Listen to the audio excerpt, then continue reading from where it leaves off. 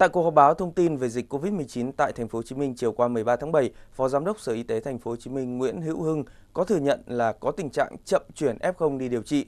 Phó Giám đốc Sở Y tế cho biết yêu cầu đặt ra là tất cả các trường hợp dương tính với virus SARS-CoV-2 được xác định qua xét nghiệm kháng nguyên, nhanh hay xét nghiệm PCR đều phải được xử lý như F0.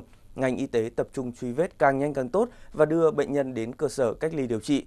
Tại buổi họp báo trả lời câu hỏi một số trường hợp F0 bị chậm đưa đi vào khu điều trị, bác sĩ Nguyễn Hữu Hưng, Phó Giám đốc Sở Y tế thành phố thông tin khi lấy mẫu tầm soát phát hiện F0 thông qua test nhanh thì ngành y tế coi đây như là ca nhiễm và triển khai các biện pháp tiếp theo. Test nhanh xem như là bệnh nhân bị nhiễm. Và khi đó chúng ta phải lập tức có những cái triển khai công tác điều tra truy vết chứ không đợi khi kết quả visa được kết quả PCR nó chậm hơn.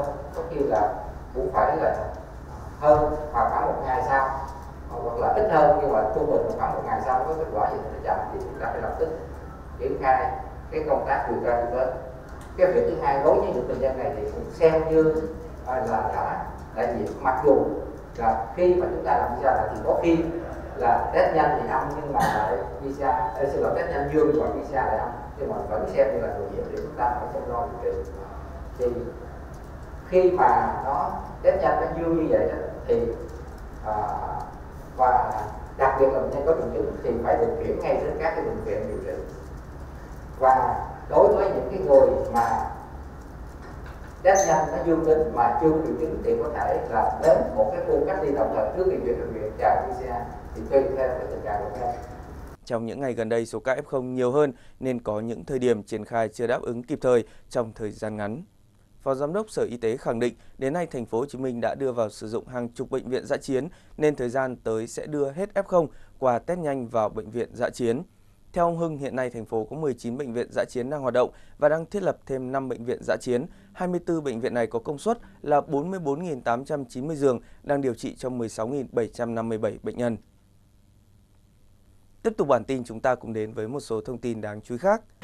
Từ 0 giờ ngày 13 tháng 7, Hà Nội áp dụng trở lại một số biện pháp hạn chế như tạm dừng dịch vụ ăn uống tại chỗ, các địa điểm vui chơi giải trí, tập thể dục ngoài trời, tụ tập đông người. Đây là đợt bùng phát dịch lần thứ tư, nhưng đối với nhiều người dân Hà Nội, nhịp sinh hoạt trong sáng nay vẫn có những xáo trộn. Triệu Việt Phương được biết đến như một phố cà phê, các buổi sáng ở đây luôn tấp nập, nhưng hôm nay, thay vì sự nhộn nhịp thường ngày, chỉ còn lác đác một số khách quen đến mua về. Cũng có nhiều cái cảm xúc mà cũng khó tả. Ờ, tự nhiên là mọi cái nó thay đổi đi rất là nhiều nhưng mà cố gắng rồi làm quen. Thế là không có cái thói quen là là ăn hàng quán nữa mà là phải mua đồ nhỏ nhỏ gì đến để ăn hoặc là ăn tại nhà. Thực ra thì nó cũng ảnh hưởng nhiều mặt góc độ về gia đình cũng như là công việc thì nó cũng nhiều nhiều vấn đề nhiều nhiều vấn đề mà mình phải phải uh, à, tự nhiên cái cuộc sống gần như có nghĩa là mình phải sống chậm lại một chút.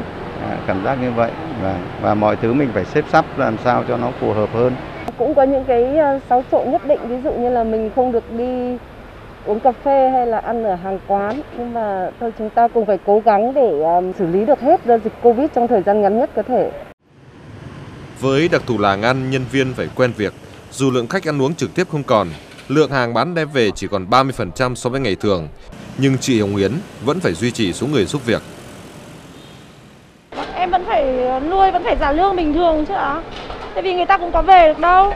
Đây họ vẫn ở đây, vẫn phải làm ạ. Vẫn phải bình thường anh ạ. Mà bán hàng thì chậm đi.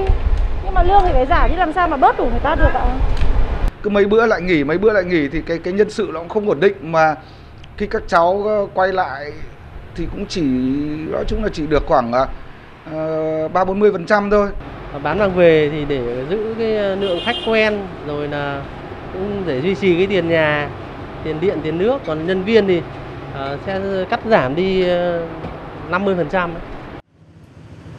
những thói quen sinh hoạt của người dân thủ đô đã thay đổi từ việc tập thể dục nhâm nhi ly cà phê buổi sáng. Rất nhiều các cửa hàng đã đóng cửa đường phố đã vắng người đi. Thay vì hẹn nhau đi ăn sáng họ xếp hàng để mua về nhà gọi là cái thời gian mà đi chợ ấy thì mình đi chợ một lần ờ, ăn cho vài ngày. Không như là trước nữa. Dịch bệnh như thế này thì mình phải cẩn thận hơn nhiều. À, trở về cái thời kỳ như là hôm mùng 1 Tết ấy, tức là không có rất ít người ra đường và người ta cũng chấp hành lệnh cấm của thành phố. Thành ra là chấp hành ít ra đường lắm. Dần dần thích nghi được với một cái lối sống mới, một cái, cái cuộc sống bình thường mới thì thay là bây giờ nếu mà chúng ta không thể đi uống cà phê thì chúng ta có thể tự pha cà phê ở nhà ngồi ban công chẳng hạn. Ban chỉ đạo phòng chống dịch COVID-19 Hà Nội nhận định nguồn lây từ các địa phương khác với Hà Nội đang ở ngưỡng nguy cơ cao, xuất hiện những ca bệnh không có triệu chứng. Việc người dân cần tuân thủ các biện pháp phòng chống dịch là điều kiện thuận lợi để cắt đứt các chuỗi lây nhiễm để Hà Nội sớm trở lại cuộc sống bình thường.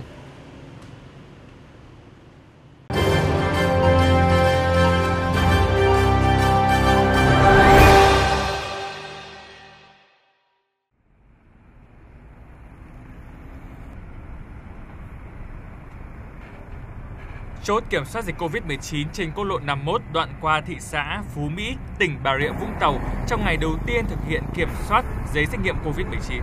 Muốn vào địa phương này, người dân phải xuất trình giấy chứng nhận âm tính với SARS-CoV-2. Và nếu không có thì phải thực hiện test nhanh tại chỗ hoặc quay đầu xe. Bên ngoài, lực lượng cảnh sát giao thông căng mình phân luồng điều tiết, có bên trong người dân chen chúc để làm thủ tục. Để mà giải ờ, giải quyết những cái ờ, ủng tắc với một cái ờ, lượng ờ, các cái phương tiện và người đến ờ, nhanh là sở y tế đã chỉ đạo và đang triển khai tăng cường các lực lượng đến đây, đến các cái chốt. Mà chính bản thân tôi cũng phải tăng cường đến đây để mà trực tiếp điều hành các cái hoạt động ở các chốt này. Để đảm bảo làm sao là chúng ta giải phóng cái sự là ủng tắc trên cái quốc lộ. Tháng là test 4 lần để ờ, cho anh em lái xe phụ xe là có cầm cái giấy test để đi vào các cái bến cảng các cái kho các cái nhà máy của các cái ấy thì là doanh nghiệp phải bỏ tiền thì đó là một cái chi phí rất là tốn cho một doanh nghiệp. Không giờ đêm, tại chốt kiểm dịch Covid-19 cầu Đồng Nai, cửa ngõ phía đông của thành phố Hồ Chí Minh, dù là thời điểm ít phương tiện lưu thông nhất, nhưng chỉ cần dừng 3 chiếc xe là ùn tắc đã kéo dài. Nó đông quá thì tụi em phải ờ, giải quyết hết phần đông đó, nó bắt đầu tụi em mới làm thêm tiếp được ờ, chứ thường là không có dừng tất cả các loại phương tiện được hết. Chỉ trong một ngày, bệnh viện thành phố Thủ Đức, thành phố Hồ Chí Minh tiếp nhận hơn 2.000 mẫu test nhanh trả phí. Do số lượng quá đông, bệnh viện phải mượn thêm trường mầm non gần đó để lấy mẫu test nhanh. Đồng thời, bệnh viện cũng thông báo ngừng tiếp nhận người dân để đảm bảo an toàn khi đủ số lượng giãn cách trong khu lấy mẫu. Họ vào đây cứ nói đu nói đu đu vào cái tới hồi cái ông nói thôi đông quá nghỉ chiều khám mặt mai có mấy ông tôi chờ cả buổi sáng giờ giờ vô cái ấy tôi sao tôi đi làm anh đi làm anh qua anh chạy xe đầu kéo mà. Qua tùm lum nó địa phận hết tên nó khỏi mất công lắm không có được. Anh phải đợi thôi. Tôi lên lấy mẫu đông lắm đứng uh, chờ cái thứ có khi cả buổi sáng cũng chưa chưa lấy được. Từ 7 giờ sáng mà tới 10 ừ, một giờ ờ, rưỡi trưa mà vẫn vẫn chưa tới lượt bình test nữa có thể thấy giấy xác nhận âm tính với SARS-CoV-2 là cần thiết, đặc biệt là trong bối cảnh dịch phức tạp như hiện nay. Tuy nhiên, việc xem đây như là một tấm giấy thông hành giữa các địa phương thì rõ ràng còn nhiều điểm cần phải tính toán lại. Chính phủ đã quán triệt chống dịch nhưng không ngăn sông cấm chợ. Tuy nhiên, cách làm khác nhau ở các địa phương sẽ đem lại áp lực không nhỏ cho người dân. Những thông tin vừa rồi cũng đã khép lại bản tin của VTC Now. Cảm ơn quý vị và các bạn đã quan tâm theo dõi. Xin kính chào tạm biệt và hẹn gặp lại.